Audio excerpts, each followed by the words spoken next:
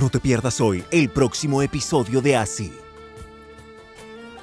Y Kenan también es simpático, ¿no te parece? Escucha.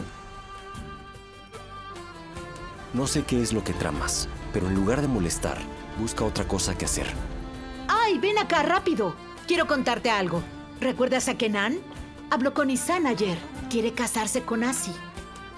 Un nuevo episodio de Así, hoy, solo por Canal de Drama.